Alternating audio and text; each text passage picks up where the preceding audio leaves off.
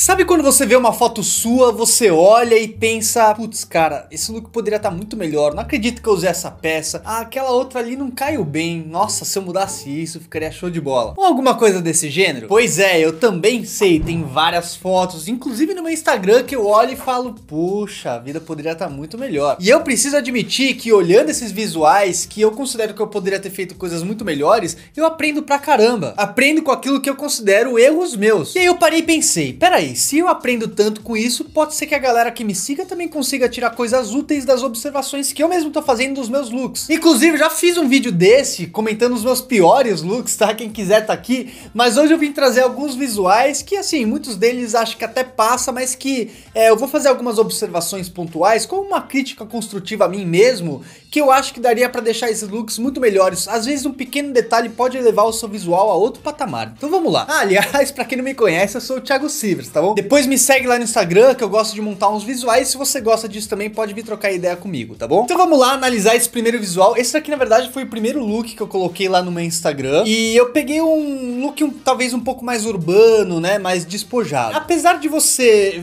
olhar para ele e falar, não tem nada errado, né? As peças não, não são feias necessariamente, mas algumas coisas me incomodam nele. E eu acho que a coisa principal que me incomoda é a calça. Acredito que a calça tá apertada demais.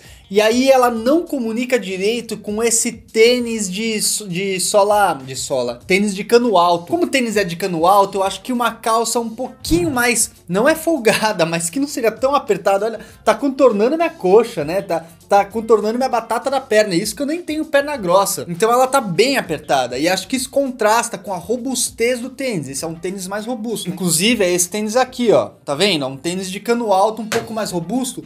Então eu acho que essa calça ela, ela não comunicou bem com esse tênis. A gente tem uma outra calça jogger preta aqui no acervo. Acredito que se eu estivesse usando ela, já ficaria um look bem mais razoável. Aliás, eu acho que eu tenho todas essas peças aqui, eu vou montar esse look exatamente com a calça é, preta jogger para você ver. E olha aí como ficaria bem melhor. Acho que já ficaria um look mais, mais razoável.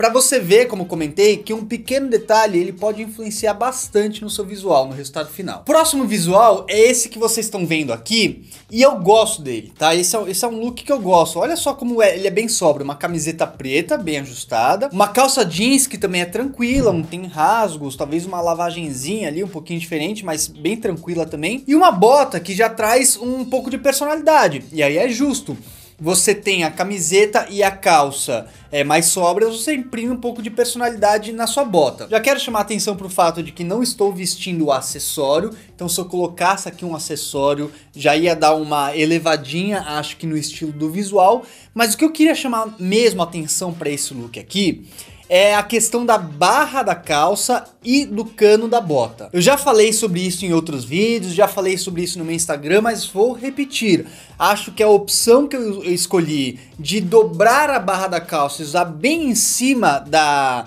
do cano da bota acabou desproporcionando, desproporcionando, não sei se é assim que se fala, mas tirando um pouco a proporcionalidade da minha perna. No caso aqui, uma opção que seria melhor, eu acredito, seria deixar a calça cair um pouquinho acima do cano da bota, ou se não, usar uma calça que já ficasse naturalmente no limiar do cano da bota. Acho que essa dobra ficou muito grossa e ficou um elemento um pouco estranho logo acima do cano da bota. Mais uma vez, vou repetir, achei que ficou um visual legal, só que esse detalhe me incomoda um pouco. Então vamos pro próximo já. Esse, esse look aqui, cara, é o seguinte, é, para você ver como você pegar peças bonitas e colocar elas meio que de qualquer jeito, não dá certo.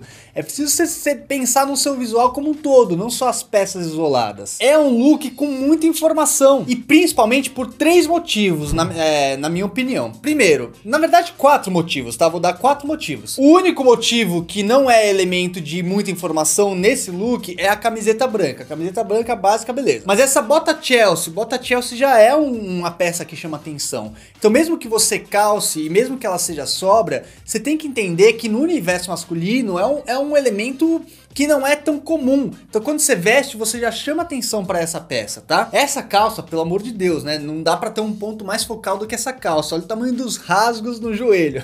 então já chama muita atenção. E essa jaqueta, tá? Apesar de jaqueta de couro é não ser é, ser uma peça que chama atenção, mas não necessariamente se você misturar com outras peças que chamam atenção ela vai ficar over.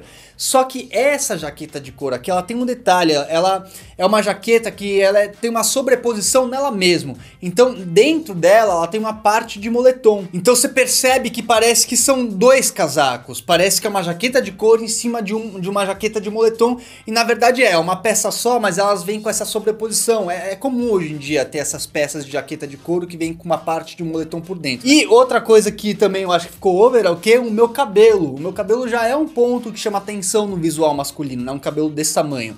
Então você pega o cabelo, a jaqueta dupla, a calça toda rasgada e a bota com um visual que você fala, opa, o que, que tá acontecendo aqui, né? Não é errado, não é errado, só que não é o meu perfil, meu perfil não é de, de misturar muitas coisas, entendeu? Se é o seu perfil, beleza, manda bala e vai embora, mas não é tanto o meu perfil, e eu sei que eu montei esse look aqui, não com essa intenção de, de ficar over, mas acabou ficando. Então a gente tem que ter essa capacidade, essa capacidade de análise criteriosa para olhar o resultado final do meu look e falar, era isso que eu queria passar? Eu sei que não era isso que eu queria passar. Hoje eu olho e falo, nossa, passei uma coisa bem diferente do que eu tava querendo, entendeu? Então tem que pensar, galera, não só na peça em si, mas na peça com a combinação que você tá fazendo e se é isso que você quer passar. Não tem como você vestir uma calça dessa e não adotar um perfil rebelde, um perfil é, desafiador, um perfil aventureiro. Cada peça tem uma linguagem, cada peça passa uma informação que vai além da estética, vai, vai de questão de personalidade. Lembra? O Pedro sempre fala,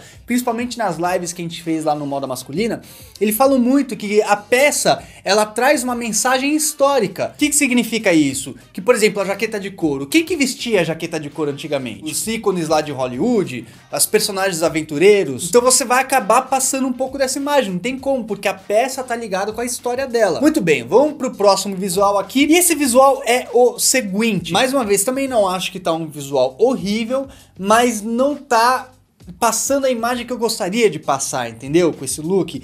Principalmente por um detalhe muito simples. Gente, sério, a estampa da camiseta. E olha como essa estampa é ridícula. São três traços, um traço vertical e dois traços horizontais. Estampa super simples e na verdade eu até gosto dessa camiseta com essa estampa bem básica, mas não achei que ela combinou com a proposta da calça e da bota e até do óculos de repente no visual que eu queria passar. Essa calça é uma calça chino com caimento bom. A bota já é um elemento mais é, rústico, já tô misturando elementos e coloca ainda uma camiseta casual. Parece que as peças não estão se combinando muito. Veja como o look já mudaria muito se eu tirasse as estampas da camisa. Vou fazer um tratamento na imagem para você ver, só tirando essa estampa, tá bom? Olha como ficaria só com a camiseta branca. Já seria um outro visual, eu pelo menos acho, talvez você não concorde, mas eu acho que já seria um outro visual e muito melhor, tá? Outro ponto, né, que eu, mais uma vez, não tô usando acessórios, se tivesse com um reloginho estaria em outro nível também. E para finalizar, para finalizar, eu acho que essa camiseta está um pouquinho curta, um pouquinho curta, então ela tá encurtando o meu tronco e alongando muito a minha perna. Parece que o tronco e a perna estão um pouquinho desproporcional, tá? E para finalizar, vamos ver essa foto aqui. Esse look aqui, mais uma vez eu tô com a camiseta. Essa é uma camiseta casual. Se fosse uma camiseta branca, bem ajustada, lisa, ela pode mesclar em ambientes muito casuais despojados até ambientes um pouquinho mais arrumados. Por quê? Porque uma camiseta branca, ela você pode usar até com uma calça de alfaiataria, um sapato, porque é uma camiseta branca. Por mais que seja uma peça casual, a camiseta, quando ela é branca e lisa e bem ajustada, ela tem um toque de elegância. Mas só essa estampa de três linhas já tira qualquer possibilidade de elegância dela. Então ela precisa estar tá lisa para ser elegante. E aí que acontece? Eu pego uma bota Chelsea de couro liso, que é uma bota elegante. Se tem uma proposta mais elegante, é melhor você combinar com uma calça mais escura do que uma calça clara. O que, que eu fiz? Combinei com uma calça clara. Ainda por cima, dobrei a barra dessa calça clara, que é uma, um, uma técnica, né? um método que traz um pouco de despojamento. Então já tirei um pouco da comunicação da calça com a bota. Colocando ainda essa camiseta despojada, eu, eu desconecto a proposta da bota com o resto do meu visual. Se eu tivesse aqui com tênis branco, pô, show de bola. Então só uma peça já ia mudar tudo, show de bola. Mas a minha camiseta e a minha calça não estão comunicando com a bota. E esse é o grande equívoco que eu acho que eu cometi aqui nesse visual. Mais uma vez, não acho que tá uma coisa horrível. Por quê? Porque a calça tá com ajuste legal, a camiseta tá com ajuste legal, essa bota é bonita. Então você vê o look, você fala, nossa, não tá horrível. Mas parece que eu peguei peças separadas, coloquei no corpo e achei que ia ficar legal. E na verdade foi mais ou menos isso que eu fiz.